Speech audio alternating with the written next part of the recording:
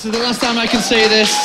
Welcome back to the World Championship Series. This is the Premier League round of 32. This is also the last game that we're going to be playing, not only in Cologne, Germany, but of course across the round of 32, where we started in Burbank, California, with groups A through to D. Now it's time for the final, final, final game of the round of 32. 15 players, boys, have qualified to play in Canada, and now just one position open with two players left. And it is going to be a Protoss versus Protoss between elfi and Kung Fu Panda. When you first look at this, Kaelaris, and think about this, I mean, talk to us about the matchup. You look at these two names, they're playing the best of three. What's your first thing that pops in? And we end the round of 32 as we ended our challengers with elfi. Uh, so let's see what's going to happen. Because the thing is, is that we saw that elfi can actually show some pretty solid PvP uh, through his series with Haas, unbelievably. Uh, and eventually it did actually go on to the later stages. But Gung Fu Panda in this matchup, when it gets to those later stages, is incredibly formidable. He's had this kind of German breeding program all the way through and has had to go up against some of the strongest German Protoss for a while uh, and then done pretty well against them. So, yeah, I think he's got a good shot. And of course, his Challenger group series. Pig, it's, uh, it's, it's one way to play a series when you keep on winning and you're consistently winning. You win Challenger, you win your first game, you go into the second, you got a great mindset. You just lost a match now. It's a, a completely different atmosphere for him up there now. Absolutely. Uh, you know, I think Gung Fu, he went in, he knew he was the underdog, and I don't think he was thinking about losing that set. I think he was thinking about winning. He was thinking about what can I do to steal this game away in the hardest way possible, and he was so close to doing it. I think at the end of that game, some players would be crushed. They would think I was so close. But looking at the expression on his face, talking to him just now, Gung Fu's focused, he's in the Yeah. zone, and let's not forget that not too long ago, he 2 0'd many time EPS champion Hasuobs. His PvP's up I mean, there. that's a, that's a big feat right there, uh, Pig. Our three maps, Coda, Iron Fortress, and Echo for the, uh, the map pool here. I don't want to talk about Coda just now, but Iron Fortress and Echo, we've got a four-player map as map number two, and then if need be, down to a two-player map. I know you're a Zerg player, so I don't want to put you too much on the spot, but overall, it's a pretty comfortable three maps, right? You've got the two most played maps pretty much this season in Coda and Echo, and then Iron Fortress, pretty comfortable as well. Yeah, interestingly enough, uh, I guess those maps work out in, in kind of how you'd expect them to. elfi did veto Vaani and Inferno pools, so vetoing, I think, the more out there maps, uh, wanting to, to limit it towards a more, more standard game, not going for anything absolutely crazy. And we did see elfi is capable of those more standard game players. Um, Expedition lost, getting knocked out by Gung Fu, as was Cactus Valley. I feel like these are more comfort vetoes than anything else. It is a mirror matchup, nothing is hugely favored one way or the other. Of course, Iron Fortress, there is quite a lot of big wide open areas. We do see Colossus play being popular, but we did see Haas, for instance, going back to the older Charge Lot, Archon, Immortal. Yep. Maybe one of these players toys around with that a little bit. All right, well, our first map here between these two, Kaelaris, um, is going to be Coda. Yep. Coda, a pretty comfortable map. You don't think any side's going to be feeling uncomfortable coming into this, right? They're both going to be in a pretty neutral state of mind. Yeah, I would say so. I would say so. I think as the whole series goes, um, I mean, even on Coda as well, uh, I, I would give Gung Fu Panda a clear advantage. As much as elfi wanted to play Gung Fu Panda, it's because he pretty much didn't want to play Jaedong, right? I, I think we can probably say that. Uh, I think I, I spoke to elfi before. Uh, this actual series was about to be, uh, sorry, the previous series was about to begin. He was like, ah, I don't want to play against Jaedong. He'll crush me again. Uh, so that wasn't too bad, actually. You've been practicing your elfi impression. You well have, done. haven't you? Well, I did live in Finland for a while, so I kind of get the accent quite a bit. I said I mentioned that every cast. Uh, so yeah, I, I think I think Kung Fu Panda's going to have a pretty good shot here. All right, well, let's start talking about the players. Both are up there. They're almost ready to begin this series. Let's go over to the German now. 17 years of age, had a golden opportunity to a golden ticket to go over to Canada to play. A massive opportunity, and it's just been ripped away from him through the experience of Jaedong. You've talked to him, he's focused, he's composed. What is the number one thing he must keep in, the, in his mind, at the front of his mind, coming into this series? I think Gung Fu just needs to remember that he is a PvP specialist. This is his home territory. He is strong here, and he needs to deliver the sort of play that he, we've seen him deliver in Fragbite and other tournaments. He's just such a dominating player in this matchup. I think the only thing he needs to do is to remember don't play too safe. play confident, be ready for anything, and scout very, very well. You've known elfi for a long time here, Kaelaris. You've, you've seen him cast and you've seen him play games. You've cast him for years and Yeah. years and years. What do you think's going through his mind here? You've you've cast him in tournaments. You've seen him play them. Is it just his cat, or is there something a little bit deeper than that? I'm thinking it might just be the cat. Uh, but aside from obviously those cat thoughts, that he's obviously if he gets on forward, he can get a little bit more prize pool and treat his cat to some extra things, for example. Um, I, I think that in the earlier stages where he does excel in PvP, he might be looking for those opportunities because if he goes longer in these games against Gung Fu Panda, I think he's going to be shot down. All right, well, we've had a long evening, but it's now time to close the evening up, to close the round of 32 up. Which player is going to Canada? A best of three with everything on the line between these two players. It's Germany versus Finland with Todd and Rotterdam. Thank you very much, Sean. It's indeed been a long day. It's been four long days of non-stop WCS action over here from the studio in Cologne. And after this series, we will know the 16 players that will go to Toronto. Todd, it's all going to come down to one more final PvP. How's your PvP uh, brain hanging in there after all the things you've seen today? has brought a lot of confusion to my PvP metagame, you know, uh, I guess brainstorming, but it's only has. I see what you did there. He did Storm. Yeah, well, actually, it wasn't intentional. Team Bad Buns uh, didn't strike this time, but yeah, I mean, these guys, I expect uh, more of the European standardish touch to their PvP here to take action. First map is going to be played on Coda, like the boys already mentioned at the desk. Over here on the left top side of the map, we have our German Protoss. He was so close to already advancing, already clinching that spot, but he's gonna have to win this series first. It's Gong Fu Benda. Why couldn't he just call himself Kung Fu Panda? It would have been so much easier. Then. This was a German accent. Kung Fu Panda. and his opponents, starting on the bottom right hand side, playing as the blue Protoss. It is, of course, the almighty elfi. For a second, I thought you were going to introduce him as the man, the myth, the legend. All right, all jokes aside, this should be a very fun PvP series and a little bit of digging to see if these two guys have ever played against each other. And they did twice in 2014 though, so it's not super relevant. elfi won both of those encounters. However, I think it's safe to say that Kung Fu Panda has been getting a lot better over the last few months.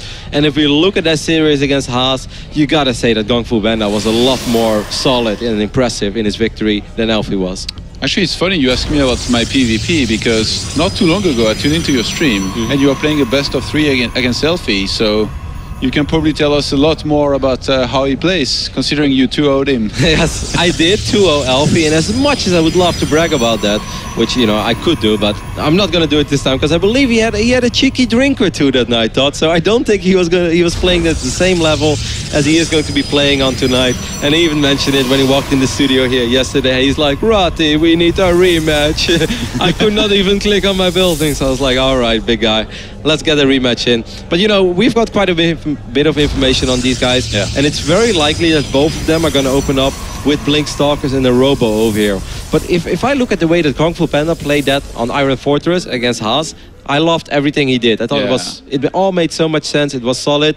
The way that Alfie did it on Expedition Lost, I liked the start, but then at a certain point I was like, yo, expand, man. Like you've got all the freedom in the world. Like it's almost America. That's how much freedom he had. He could have expanded. And then he didn't. And he made the game so complicated for himself. So I don't know what to expect, but I'm kind of leaning towards Gong Fu Banda. Yeah, I think so as well. Uh, overall, I feel he's adjusting so well in general to almost any situation. Uh, not just here today against Haas, but also back to his games versus Naniwa. He was re- really reading the games perfectly every single time and making every single small adjustments he needed. And now against somebody like elfi, that's definitely going to help him a lot as well to be able to do that. I also feel he's quite smart in the mid to mid late phase in the game where he is just very active with his army and he won't necessarily commit to a big attack. But if there is an opening somewhere, then he will go for it. He will try to snipe an Nexus or pick off a unit or two that's out of position. It's actually going to be a Stargate opening over here for Kung Fu Banda. Of course, there's nothing wrong with that. Stargates are very, very common in this matchup. Uh, but I'm a little bit surprised because if this is an Oracle opening, well, then there's a good chance he will get a probe or two. Maybe he won't if elfi Yeah. scouts it. If it's Phoenixes, I don't think I don't think it's going to be Phoenix. I think it's going to be Oracle Yeah, yeah. Blink. Like he's very popular these days. He does very well, and actually he used a lot of Stargate play against uh, Naniwa back in that best of five that he played against him. I'm sure So- Naniwa loves it that you keep bringing this one up, Todd. Well, I mean, it's just the reference, you know, recent PvP that he played. No, absolutely. It was, of course, a very big series, and he played great in that series.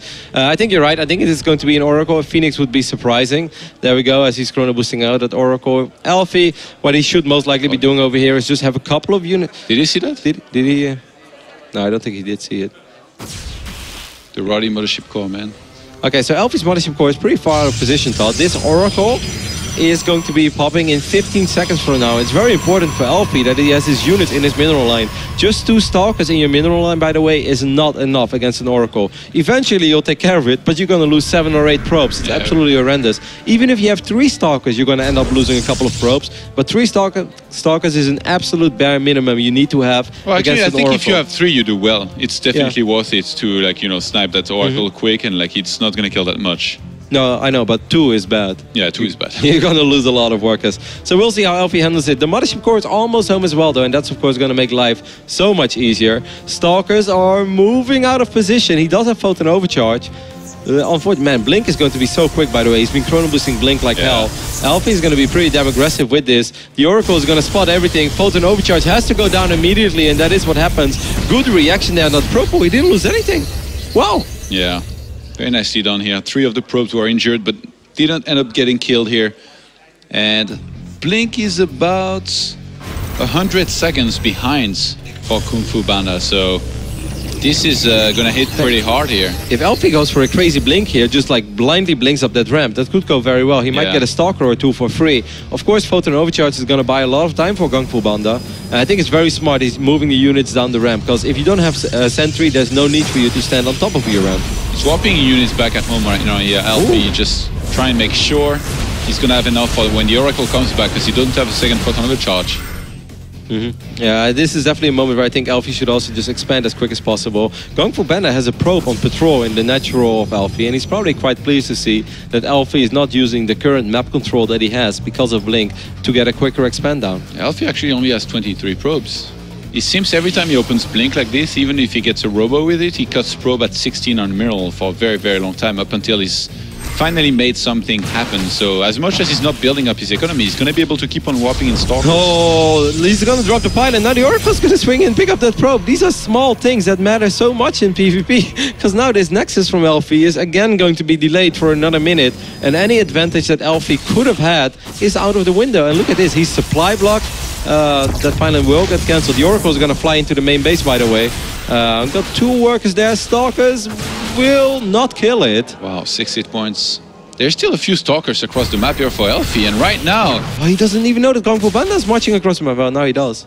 yeah, he's going to counterattack with the Stalkers, even though there's a photon overcharge available for Kung Fu Panda.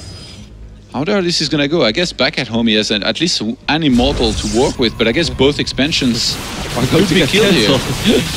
Uh, yeah, he should have posted the photon overcharge immediately. Alfie's mm, Oh, he Alfie's actually just blinking in the main. I'm not sure how I feel about this. He will get a handful of probes, but he's not going to kill that Nexus thought. I mean, if he can get a big amount of probes, and he's actually already 10 that he sniped. Okay, wow.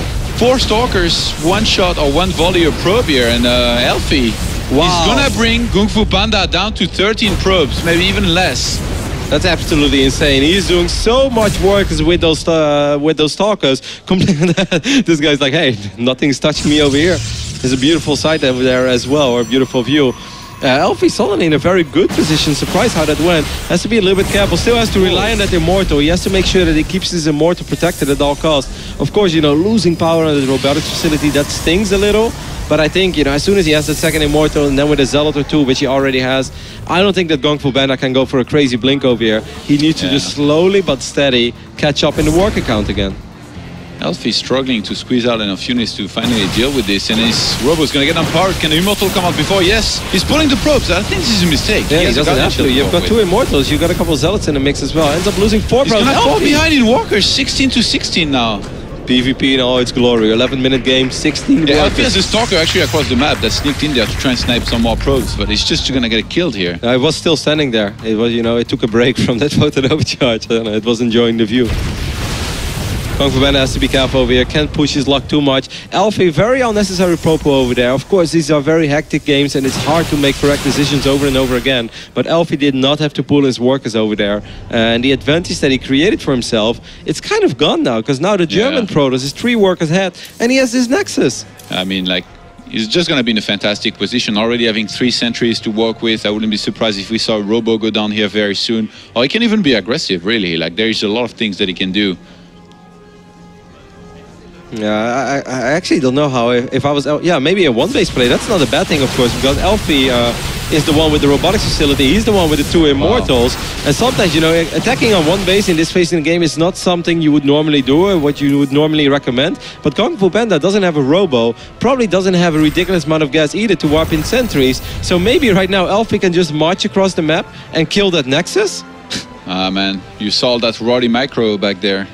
He was blinking, blinking back uh, very nicely. He traded a little bit Oh, of I, just I, I like shields for units, and now with the sentries up the I ramp, like this a lot. Four stalker blink, uh, four stalker hit squad is going to try to blink into the main base over here. It's going to pull these units a little bit out of position, uh, and then I think he's going to try to run into the natural to snipe that Nexus. He has to be careful. There we go. Here's that first blink. He's going to spot that Oracle as well. He's going to realize that Oracle was real. Oh, he Uh, might get force fielded out. Kung Fu needs some good force fields that around the ramp of the natural. Photon overcharge is needed there as well, but since he already used the one in the main and didn't have enough energy, he doesn't have a second one for the natural. The force fields are quite good though. These immortals are not participating in the battle at all. Now they will be. Now Alfie's gonna drop a couple of force fields and Gong Fu Bandai is forced. Oh, that's the key force field thought. He's gonna get a lot of workers over there. Gets uh, 12 workers in total. Of course, he got a couple in the main. Kung Fu Bandai's gonna blink on the high ground to try to get a free zealot or a stalker. But now Alfie strikes. What is this PvP thought? Like Yeah, Alfie just strikes back and kills the Nexus, and he's gonna go home. Just keep on, uh, you know, lowering each other's economy enough that uh, it seems like uh, this game has just been going on for just a minute or two. But no, it's actually a 14 in 14 minutes long game so far, and uh, the Oracle of Kung Fu Panda across the map is just gonna wait until that photon overcharge ends to in there and kill some more probes because why not? It's what they've been doing the entire game. Yes, and two sentries, that is not going to be enough. There we go, it's perfect timing, but second photon of Judge Wilk activated immediately. Going for Panda is going to sacrifice and even lost a little bit of uh, potential TPS there. Working on the sentry is not something you want to do with your Oracle. He could have taken out a few more workers. So now Elfie is going to be the player with the quote-unquote quicker expand. I say 15 minutes into the game. I'm I really surprised that Kung Fu Panda sent his entire army in his main against just four stalkers Yeah. when he had the photon overcharge. I think he could have just stand, stood at the ramp and if he had hit some good force fields, Mm-hmm. he would have just won right there and then. Especially because, like, why would you ever bring your sentries up the ramp? Your sentries don't have to go there, but uh, I guess he just panicked Because we're a little bit. Protoss and we have everything on one group, Roddy, of course. Come on, you know that.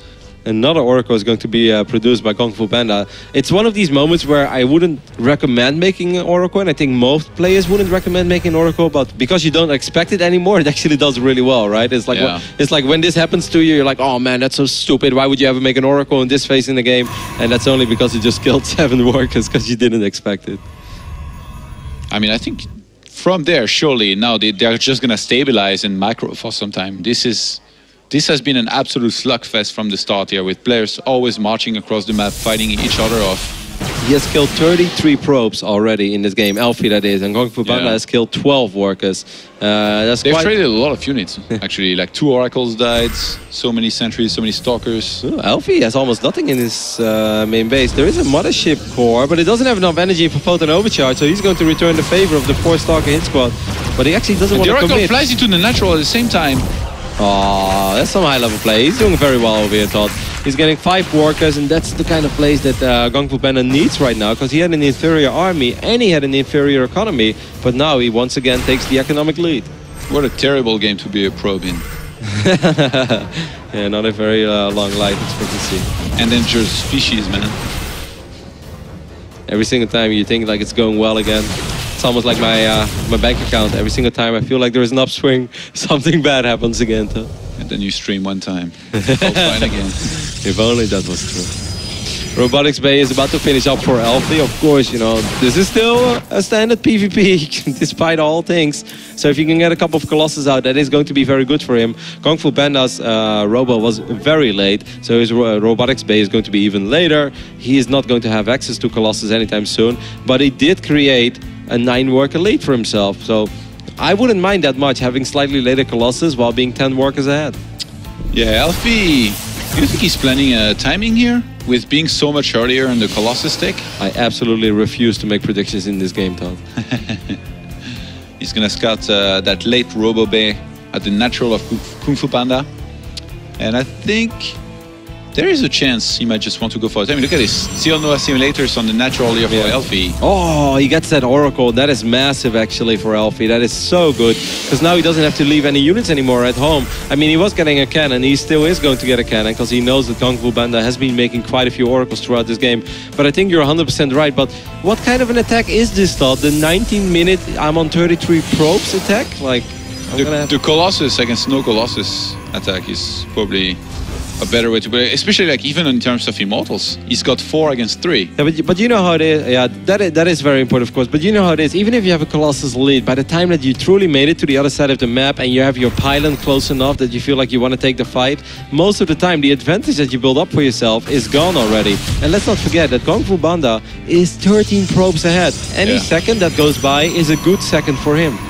Yeah, yeah, but I think that's why elfi doesn't want to waste any time. He's marching across the map. He's made enough probes this game. It's all about the army now. He's actually got quite a few sentries. If he was to hallucinate, say, a bunch of Archons at the front to tank some damage, I think he'd do great here, because I don't think he needs force fields in particular, but I guess I can see Mortal. Maybe he can get some good ones off. Uh, there's going to be one Colossus though for Kung Fu Banda. He can drop a time warp. He has 200 energy on his mothership core. I'm glad Punk has shown us that because that's so important. He can Yeah. drop a time warp and a photon overcharge. Then I don't oh, a lot of Colossus being hallucinated over here. I think that the German Proto should be able to. Oh, no, careful there. Whoa, forward, forward. blink for the Colossus. The sentries have full energy. I'm not sure. Okay, he need, definitely needs to use some of that energy somewhere. Right now, elfi is doing well. He's gonna stab the Colossus of Kung Fu Panda, who's pulling back all of these immortals. They've already lost most of their shields. I think he's doing it, Roddy. Yeah, that, that blink looks, uh, looked so eager, but it seems like it was good enough after all. These fake Colossus really messing with Kung Fu Banda over here. The Immortals are going to get sniped down one by one, and that Photon Overcharge is doing quite a bit of damage, but there are four Immortals still alive of elfi. His army is just so incredibly tanky right now, even though all of the Immortals have lost their hardened shields, but it's just four Immortals without hardened shields. They still have a ridiculous amount of damage output, and I think that elfi is going to be able to snipe the Nexus over here, and with those Zealots tanking, he's going to be able to take out of all of these probes, and I think the writing is on the wall for game number one. An absolutely ridiculous game number one, but the moment you warp in Stalkers, when there are three, four Immortals in your natural thought, you know it's time. GG! elfi takes game number one in a game that I think is impossible to summon up. Action-packed uh, slugfest with a lot of back and forth action. I guess that kind of does it. But uh, yeah, very interesting first game here. And in the end, elfi, he seems to really feel really feel comfortable uh, in this kind of you know Colossus-based army composition here in PvP. I mean, come to it was such a hectic game though, Todd. Like I feel like everything about it was hectic. yeah, I mean in terms of like decision making, and Yeah, in this yeah. case, you know, realizing that he was behind and it was time to attack. That was very very smart. yeah, he And does it- have excellent game sense, and like Yeah. when his army is better than his opponent's army.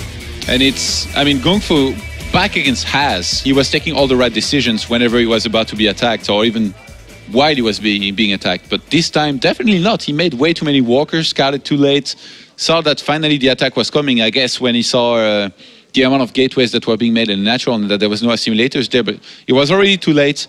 And in the end, even his positioning, like the Mothership Core wasn't in position to time warp immediately. Imagine if he had time warp while and while elfi was starting to enter the ramp and there was a concave setup. It would have gone a lot better for him. He could have pulled probes.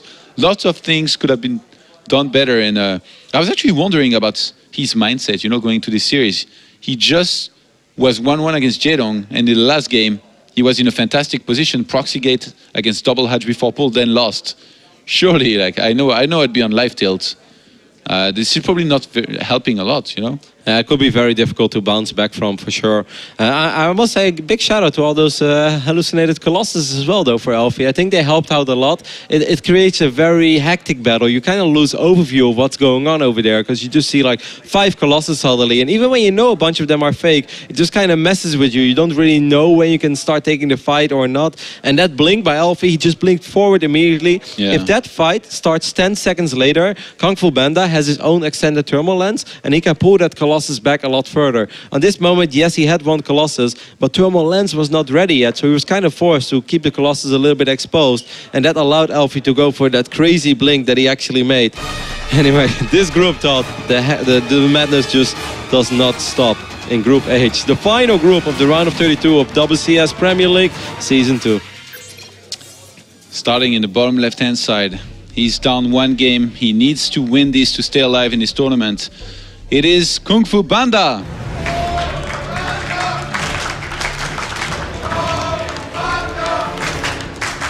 And over here on the left top side of Iron Fortress, we have our Finnish legend who is one map win away from qualifying for the round of 16 of Premier League. It is elfi. I love that blazer he's wearing as well. The blazer with jacket. It just looks so cool, man. Everybody wants to go to Toronto, man. That's uh, that's the general feeling here, and all of these players. Not everybody can make it. Only one of these two guys will make it, and uh, sadly, well, for some of us, luckily, but for some of them, sadly, because it can be a tricky matchup. It has to be through some PvP, some uh, grueling PvP. Yeah. Iron Fortress is a four-player map, and on four-player maps, you can decide to play a little uh, crazier than, than, you would, for instance, on Coda. Coda was pretty straight out, one player going for the Oracle, one going for the Blink um, you know, into a robo, into exp expand later on, even though the game played out in such an unorthodox way. The builds were relatively standard. There is a chance we'll see something weird on Iron Fortress, but if I was going for Banner right now, would just be like, man, why did I even play Stargate? I'm so good with Twilight into Robo, I'm good with Blink Stalkers, I should just do the exact same thing as my opponent, and then I will probably win. The moment you do you know you have identical builds then it's uh, often like it's a lot easier to make the difference early on by just doing the right things. If one player goes Stargate and the other one goes twilight things can get a lot crazier. It's harder to really you know keep track of the game and keep track of everything that's going on because you're working with different units whatever happened to the Roddy build man i never see double gates opener anymore and like stalkers. I, uh, I mean, it's of a single gate though. But yeah, you mean like uh, the two gate stalker pressure? Yeah. Some some players still did it. It had like a, a small option for a while when it was two gate into three gate pressure, but you don't see it a whole lot. I mean, some these maps are getting bigger as well, so that, that makes it weaker, right? The early stalker pressure. And why are you still doing it every game? Because I'm a stubborn little man, Tom. Fair enough. No, Both players uh, scout each other first, yeah, by the way. Even I have been switching it up a little. I know you won't believe it, but it's true. We'll see, we'll see. Yeah, both players fighting each other immediately. It is vertical as well, uh, which doesn't change that much in this matchup. Uh, I'm, I'm still expecting, you know, what we mentioned before, but like Gong Fu Panda just going back to what he knows best. Make sure there's no build or the loss over here, and there won't be a build or the loss if he goes Twilight, you know, with a couple Blink Stalkers and then into a Robo and then just drops an Expand himself. Elfie on the other end, he's the one who's going to switch it up. He's going to drop a Stargate over here, Todd. Yeah, I think Gung Fu is probably going to go for the Twilight here you were uh, hoping for. No, he's got quite some gas. So I guess Stargate himself here. Oh he's gonna go. Oh, no, he starts with Sentry. I guess he wants to expand. Wow. Look at this, sending what? a probe to natural. One gate fast expand with tournament live on the line. Well, bold move. Yes, this man has no fear, man. All right, so if Gong Fu Panda would follow this up with the robotics facility. Oh, he's moving out with the stalker. And they, oh, okay, the mothership core of elfi, because I saw it headed for the mm -hmm. that mineral line, and if it got there and there's no stalker, that's like quite a few probes dead, basically. Yeah, yeah, you can get three or four probes uh, very quickly. elfi's going to open up with the Oracle. And I, I wonder if Gong Fu Panda is going to drop his robotics facility, do you think it's still possible for elfi to follow this up with some Phoenixes? Or would you say, like, nah, it's all going to hit a little bit too late and his economy is going to be too good for Phoenixes to be very effective? Yeah, I don't think it's good to get Phoenixes when you open Oracle first like this. I think, yeah, look at this. Twilight and two more gates. It's going to be Blink. This probe, though, that he has on the map on the right-hand side, is going all the way around. It's going to take like five minutes to finally get there, so... This is a little similar to the build that Haas was trying to do against Gong Fu Panda, even though Haas, of course, proxied this Stargate, but the idea behind it is the same. And I must say, I think Gong Fu Panda handled it very well uh, in that game. But it's, of course, going to be a little bit different. But normally, with one gate fast expand into a Robo, this build from Gong Fu Panda is very strong. And I think the only true weakness is Phoenix openings. Yeah, he's gonna get in there, kill two probes and then get out.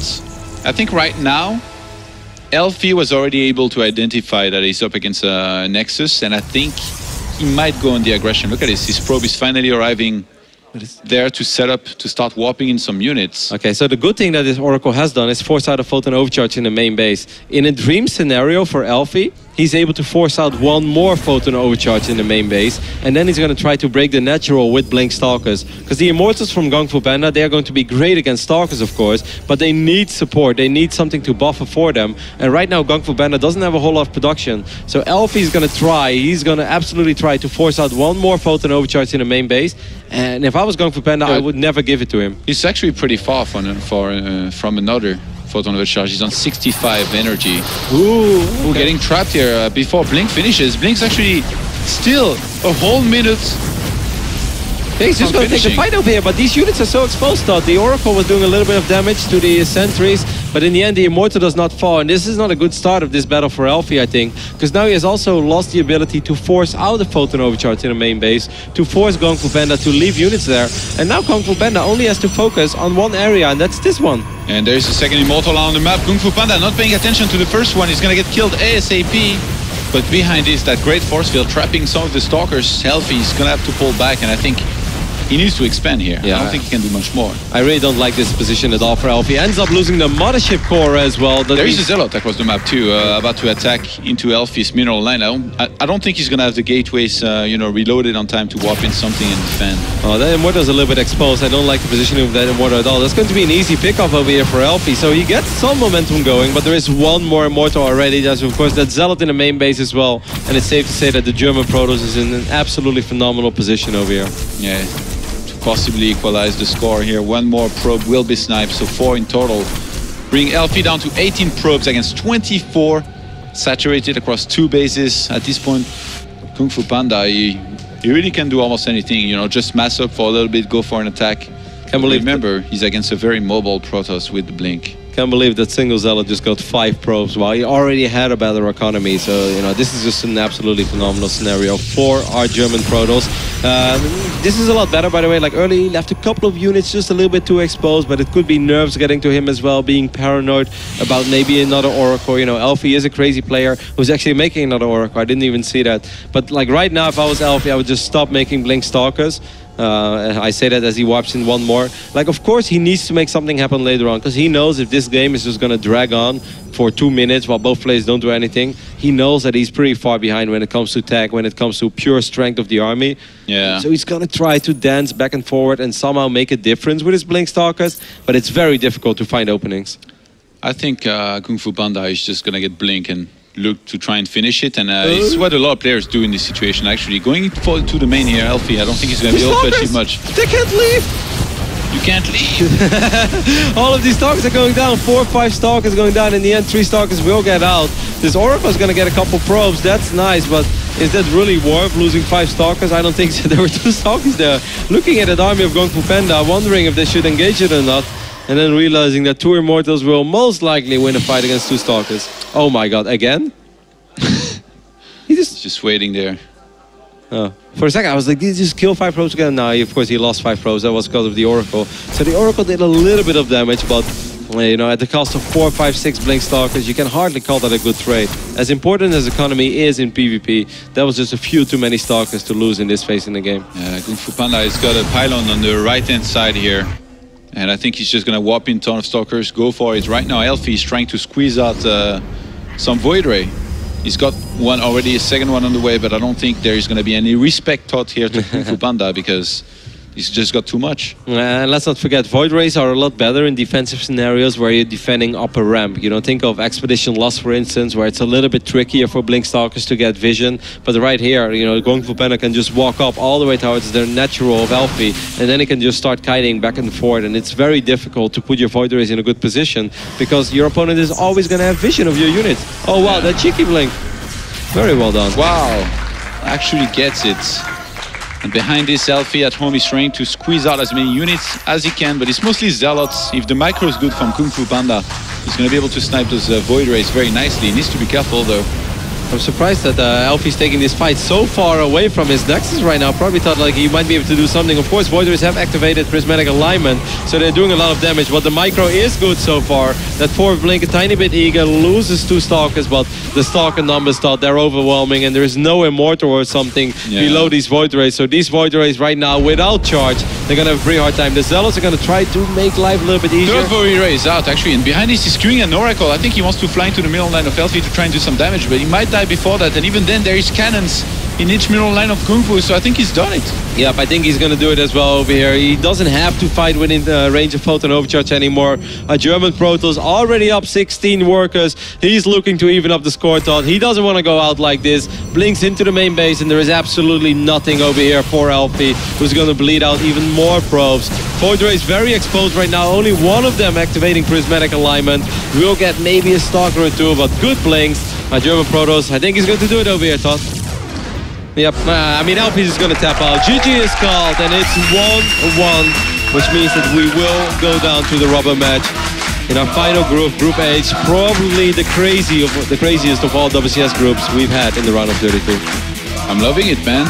All of these games, lots of action, lots of small, you know, skirmishes, small amount of units fighting each other here and there, and uh, in the end, a lot of close games today. Yeah, uh, the, the games have been scrappy, but they have been extremely entertaining. And it doesn't always have to be, you know, the flawless play. Because often, you know, when people don't make too many mistakes, it also means that they're kind of sitting back and they're not really looking for openings. But these games, they're very wild. They're all over the place. And of course, you can look at it in a very critical manner. And then there are a lot of things that all players could do better. But we shouldn't forget that for both of these players on stage right now, it's the first time in a very long time that they are playing for this amount of money, that they are playing with this many people watching them, and on such a prestigious stage in the biggest StarCraft 2 tournament that goes on throughout the entire year. So, you know, it, it's it's logical they're making a couple errors here and there. Yeah, uh, great racial distribution, by the way, for uh, for Toronto. I was think thinking about it earlier. Well, how is it? It's very even across all races. Um, let me check. I think we had with Jaedong seventh Zerg, so Zerg's going to be the most represented race in the top 16. No, it's already included, Jado. Okay, you sure? Yes, because six, five, four. Nope. Seven. Oh, damn it. For once. I can't For do- once, Roddy was wrong and I was right. I can't do math. Okay, yeah, seven Zergs, five Terrans, and four Protoss so far. So we're gonna have a fifth Protoss. So very, very even. StarCraft, the perfectly balanced game.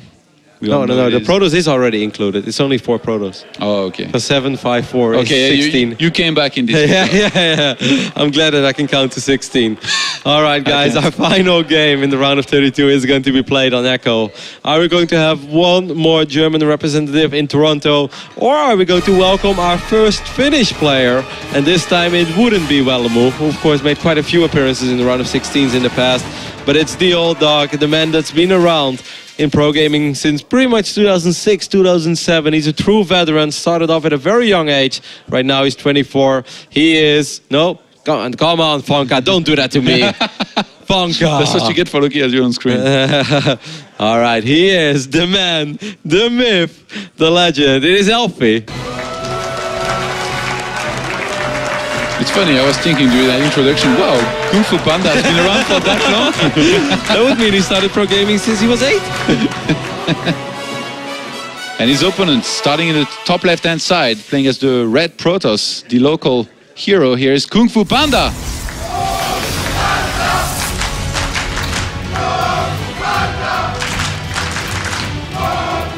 Been a very long day of StarCraft. Of course, we started a little bit later today as well. It's pretty much midnight over here in Cologne. Not the first time that StarCraft is being broadcasted here until midnight. I remember in Intel Extreme Masters in Cologne a long, long time ago. And I think was running till 2 a.m. That is, um, I thought that was an early gate, but it's actually quite of a standard gate. Todd, game three, PvP, everything or nothing. It's all on the line right now. You've been in this scenario. What's going through your mind? What do you want to do? You just roll the dice, man. No, you don't. Damn it, Todd. I think with the way it's played out, like a good way for both of them, you know, to try and make a difference, you know, with uh, you know their own skill and playing better, it would be to just play Blink Observer on one base opener, see the sequel, and then from there, you know, expand and play standard, as you pointed out earlier. Uh, Coda is a better map for it than Echo though. This is not a bad map because there is this little alley in the main base or you know, this tiny bit of surface area where you can blink you know, from in between the natural and the third into the main base with four stalkers, the good old four stalker hit squad, and just try to pick off as many probes as possible. Uh, but it's not the best map out there uh, for it, but it's still, you know, in regard of everything, it's probably the most solid Protoss uh, versus Protoss opening. Well, what do you what do you think about openers? Like I'm I'm noticing that elfi did uh, full saturation on his gases a little bit earlier, but not too long before. I when, mean- when I when I see that every time, I'm thinking Stargate immediately, but still can be a Twilight. Yeah, it, it could be a Stargate. I mean, like if elfi thinks like, hey, you know, he just won game two with a very quick expand and into a robotics facility. Maybe my opponent is thinking, never change a winning team. I'm just going to do it one more time. You know, don't fix it unless it's broken. But it can be broken by a very quick Stargate with Phoenix play. Uh, but that would be a very risky call to make for elfi because if it's Phoenix against Blink Stalkers, it's not impossible to win, but it is pretty damn difficult. Okay, so I guess for now it's just gonna be the Mothership Core and Stalker from both players. elfi with a little bit more gas again. He starts a Twilight, which is gonna be earlier than his opponent. And we have a Twilight as well for Kung Fu Panda. I, I'm not too surprised. I mean, this also shows confidence and uh, courage of both of them, being like, all right, you know, if my opponent decides to go for that greedy build, that one gate fast spend Nexus into uh, a robotics facility, I might be a little bit behind, but I can still make it work. And at least with this build, I won't have a build order loss. There is nothing that's going to kill me 100% of the time. Uh, I like seeing this thought, and it shows it shows confidence, it shows strength from both of them. What happened to uh, Dark Shrine, man? No, no, nobody goes Dark Shrine anymore, it seems like. Everybody got too good against DTs, I guess. Yeah, you know, like even like in the old days, it was often like, does he have detection in time or not? And then it will Yeah. either win or lose. but nowadays, you know, people are so good, even just hold positioning units on the ramp and buying time that even if detection wouldn't be in time, they'll find a way to make sure that they take minimum amounts of damage off the Dark Shrine. But I was recently talking a little bit with Harstem, and he actually said like, uh, DTs are the future. And I was like, I was like, you're trolling me, right, Harstem? He's like, no, no, no, DT is the future. I was like, damn it. I was like, nobody likes those builds. Ah, there was a time actually, yeah, DTs were used a lot with like one or two gates, you know, you just send one in. That was like the new meta at the time. Well, But, uh, of course doing some serious work over here for elfi, Yeah. getting three probes already. Against just one Stalker, you can do this much. You're gonna get out here as well. I'm actually not sure if it's worth it to get out with these little hit points and energy. I, think, yeah. I mean, it's still 100 gas, so do you really want to lose 100 gas in this phase in the game? I know I wouldn't. But great scout by elfi. It's not just Oh, the the probe! The probe at natural here wasn't found.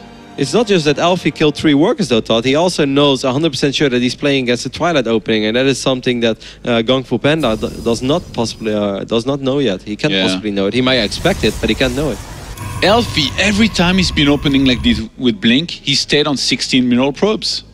Every single time, so that he can warp in three stalkers by three everything every single time that uh, his gateway's cooldown come back. So definitely gonna wanna look to be aggressive here with this, I think. Yeah, probably going to try to get a cancel on the other side of the map and then expand himself, uh, like he could have done against Haas on Expedition Lost. Oh, he didn't proxy a pylon. And he's gonna lose the probe. Ah, well, then he's just going to expand himself. But his expand is quite a bit later, and I wonder if that worries him. He's expands later and he's got less walker, or one less walker actually. It's okay, not the biggest of deals. And he actually just warped into Sentry. So elfi already accepted that uh, he's going to be expansion against expansion from there. Both players, they're going to scout with hallucinations. We're going to see mortals being made. A forge should be made for both players soon here as well. Not a Yeah. supply block there for Gong Fu Panda, thought. At 42 supply already for 10 seconds. Could have been producing a couple workers. This probe, however, does get a perfect scout in the main base. Fu now knows everything that he uh, could possibly want to know in this phase in the game. We're looking at a pretty even PvP, but I think a minor advantage for our German Protoss just because of the fact that this Nexus has been tied up uh, quite a bit quicker and he's going to be able to create a minor worker lead for himself.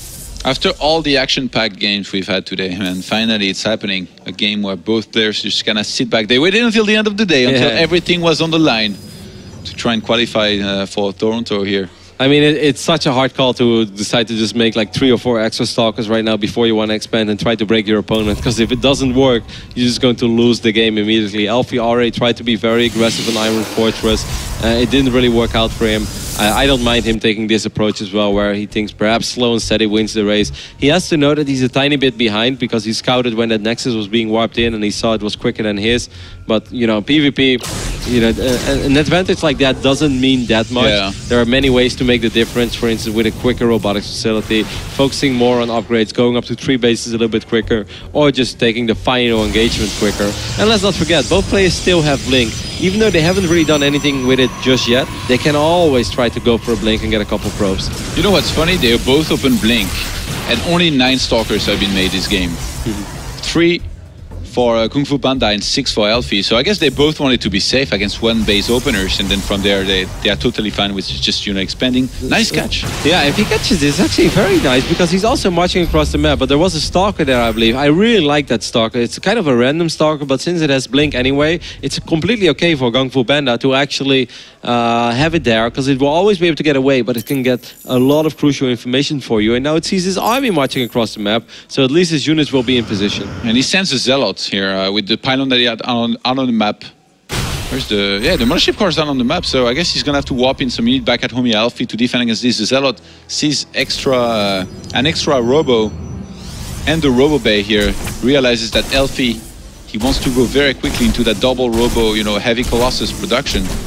And he's gonna have, uh, I guess, an opportunity to react accordingly. With, maybe with his own second robo. You don't really go Tempest anymore, do you? Mm, no, unless unless you're on three bases, I think. Like if you're on three bases and your fort is about to go up, then I think it's okay to start thinking about it. But this early on, I think it's quite difficult to make Tempest work. They are not, you know, the game-deciding unit that they used to be in PvP ever since that damage got reduced versus massive units. I like that elfi immediately realized, like, hey, suddenly there's a Zealot. I was out on the map, I didn't see that Zealot passing me. He must have a pylon. He finds that pylon. And what I also like, for the people who wondered, like, why did elfi just march across the map and didn't do anything and then backed off. It's because like he knew he was a tiny bit behind, so he could pretend to make an attack. He could fake uh, fake an attack. Maybe this will stop Kung Fu Benda from producing workers for a split second. While elfi actually at home is forcing out as many probes as possible and getting that second robo like Todd mentioned. So creating a minor advantage for himself like that just by moving out. They don't necessarily have to fight to make a good play. Yeah, elfi though, his uh, attack upgrades are very, very late. Oh, actually, you're gonna get some Stalker Scott here. This is never good at this stage in the game. That's very unfortunate for elfi there. Kind of a random blink forward for no reason, and he just blinked into the middle of the army. Stalkers are, you know, they're still good. You can always do something with it, but in a big fight when the armies clash, they're not supposed to make the difference. What we saw earlier today on Expedition Lost, that is not how things are supposed to play out normally. I like how Kung Fu Panda immediately realizes, like, all right, well, this is my cue to go up to three bases. elfi will scout that immediately. Um, And then he can choose either to take a third base himself or go for an attack. I was very surprised, by the way, when elfi said in his interviews, like, oh, uh, I didn't even check for his upgrades. I don't think they're very important in PvP. I think there are a lot of pros players who will disagree with that. Like, the attack upgrades are actually very important, but of course, having a Colossus advantage might even be more important. Very nicely done here with sniping the probe. Gonna delay that third Nexus uh, from starting here for elfi, who's still doing a very good job in terms of supply. Putting out two Colossi at the time for both. There's 46 probes to 46 probes. Man, this is like the most even game. only really the plus two uh, Yep. of elfi is gonna be so far behind. That's like the only thing. And I guess he's next a little Yeah, as well. I do think that Gong for Benda has done a pretty damn good job in creating a couple of advantages for himself ever since he picked up the stock. He's gonna get that. Yeah, he's gonna get it. He's gonna force a Oh, cancel. he wasn't gonna get that. Actually, he blinked before, I think. Mm. And then elfi still cancels. The shots were in the air already. I'm, I'm not sure. Either way, great move again by our German Protoss in the final game over here. Once again, for the people who've just joined us, if Gong Fu Panda wins this game, he will qualify for Premier League round of 16 and he will be heading towards Toronto. He will be playing uh, quite uh, quite possibly in front of the biggest audience that he has ever played for and will probably play for in a long time. And he's doing a very good job so far. But all these minor things, all these minor traits, as good as they are for him, one bad engagement, your Colossus out of position, your army being time warped, and everything, you know, has been for nothing. It will all go up in vain immediately. It's so funny that elfi never started plus two, by the way. Like, he really thinks these upgrades are not important. Imagine he's right. He, he was like right all along. He revolutionized the PvP meta. Like Mr. Bitter knew. Calling elfi the, the I mean, prophet. Elfie has seven Colossus against. Uh, there were four Colossus for going for Panda, but now there is five, and the sixth one is about to pop. I, I don't think having a one Colossus advantage makes up for an attack upgrade, unless he just gets a much better engagement. Morphing these Archons at home, that's going to delay his attack quite a bit. It's very hard Yeah. to set up for a good fighting position, by the way, here Yeah. on this map. This is the entire trick. That's why I lose every game I play on this map in PvP. Like setting up a concave and receiving your opponent's army, uh, you know, in a good position. Very, very difficult to do. You can also bait, you know, a bad fight from your opponent here if you're healthy. I don't like this but that much. He's actually making a war prism right now, going for Panda. That is like, mate, you're being all in with tournament life on the line. All you have to pretty much do over here is hold. If Gong Fu Panda holds over here, he is going to win. He will advance to Toronto. But if he doesn't, you know, if he loses anything But- over here, the game will end. The war prism is not going to make the difference. I think is playing to his image here. I think he was trying to pretend that this is a fake and he's taking a third at the same time, but he's actually really going for it. The army supplies are still even, and elfi, it looks like his position might be a little bit better. No, actually, Ah, he walked Those into the time warp top. Those Colossus took a lot of damage. The Immortal is going to go down as well. The Archons were still alive for Gongfu Panda, who is now taking a 15 supply advantage. Has to be careful that he doesn't overstep his boundaries over here, as a couple of Zealots will march forward. But he should have his own defensive warp ins real soon, ready again. He had a cannon there as well, and I think the German Protoss is going to do it over here, Todd. A couple of Archons being morphed in. He has to be careful though. He's really fighting so close to the Yeah. violence of elfi, but maybe he's been so far ahead that it doesn't even matter anymore. Uh, he wants to make sure this Colossi do not, do not get away. Remember, he's not sure whether or not there is a third base right now, even though he might have a pretty good idea. And there's going to be too much. GG! The German player Kung Fu Panda advances to the round of 16.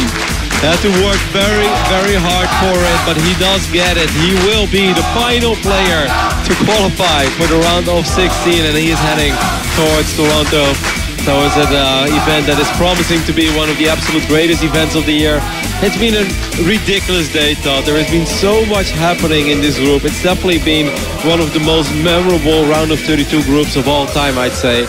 We've seen things that we normally don't see in Premier League.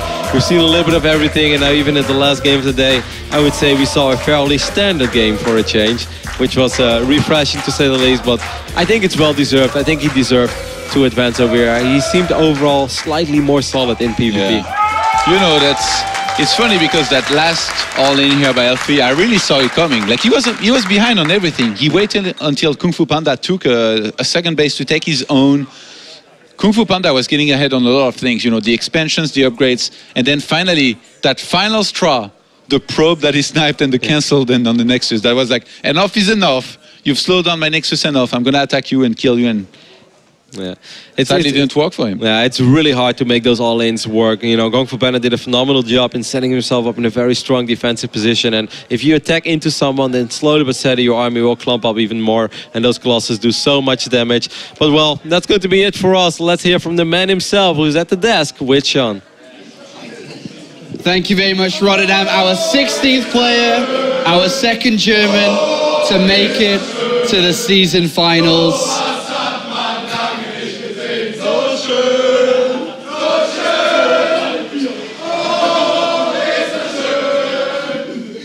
Must be a great moment for you now, right, Kung Fu Pandas?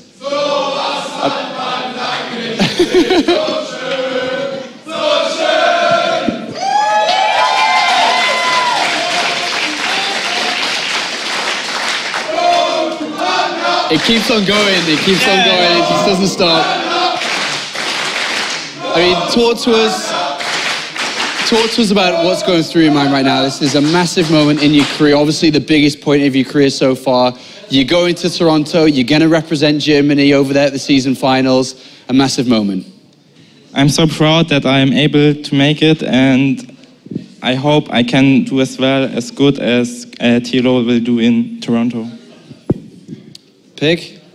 Just an absolutely astonishing series there. I mean, in terms of the gameplay, your PvP has been absolutely stellar today. What do you think it is about PvP? Why do you like the matchup so much? Why are you so good at it?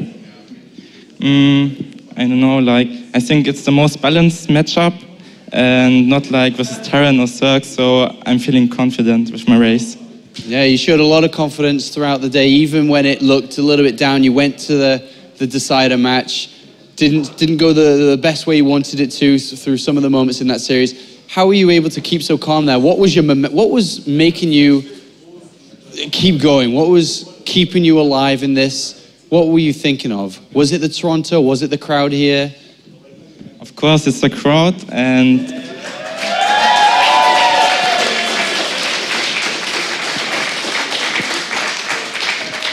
and also like I never was been at Toronto, so I'm quite happy that I go there. And also like I don't know, I shouldn't lost some games, and yeah, I knew that I am the better player, so I was confident in myself, and yeah.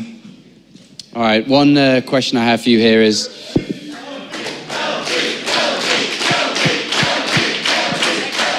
Let's. Uh, we talked about we talked about it with Jadon that third game. I want to bring it up now. I mean, we've got the first thoughts uh, away from the Toronto, but that third map.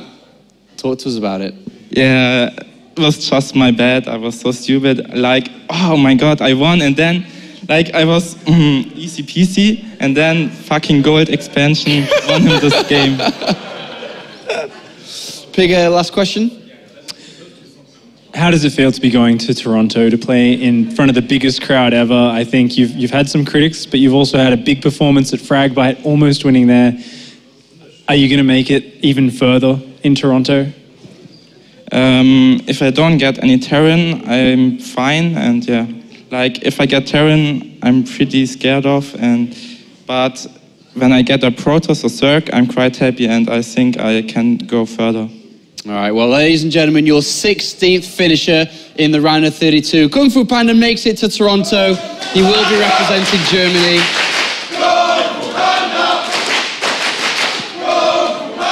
And that does it for the round of 32 in the Premier League. We have officially completed every single group, starting in America and finishing today in Cologne, Germany, which leaves us with one final thing to do before we close up the broadcast. We're going to go to a break, but when we come back, we will officially draw the groups for Toronto, Canada for the season finals. Who will play who? It's all on the line when we come back.